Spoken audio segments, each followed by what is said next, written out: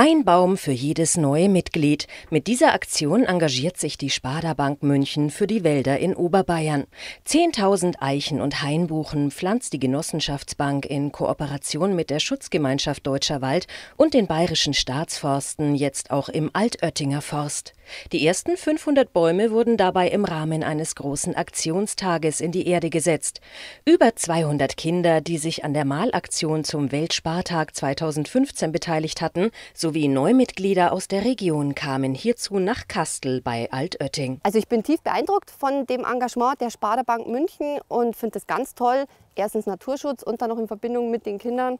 Ja toll, ich finde es super. Ich bin also schwer beeindruckt. Es hat auch einen Parcours gegeben. genau. Und wie haben wir den gemacht? Die Mama hat es vorgelesen und ihr habt die Fragen beantwortet. Ganz ja. allein, gell? Mhm. Und wie viele waren es? Ähm, sieben. Und wisst ihr noch, wie das Lösungswort geheißen hat? Ja. Wie? Wald ist? Leben. Genau. Ja. Richtig, und das stimmt auch. Mhm. Die bayerischen Staatsforsten hatten die nahe des Bahnhofs von Kastel gelegene Fläche von einem Industriedienstleister erworben. Der angrenzende Wald war schon zuvor im Besitz des Freistaats.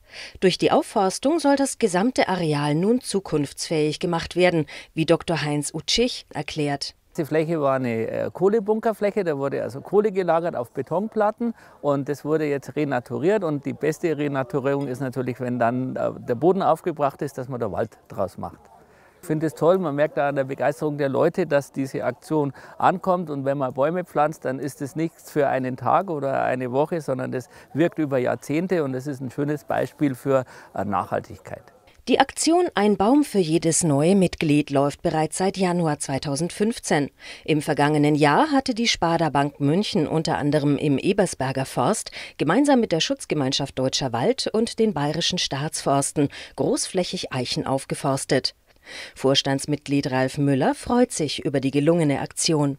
Also unsere Beweggründe, dass wir für jedes neue Mitglied einen Baum pflanzen und auch für die Kinder oder die am Malwettbewerb teilgenommen haben, praktisch, die heute ja stark vertreten waren, ist, ohne Natur geht nichts weiter. Ich denke, unsere Natur ist enorm belastet unter, einfach unter dem Stichwort CO2-Ausstoß.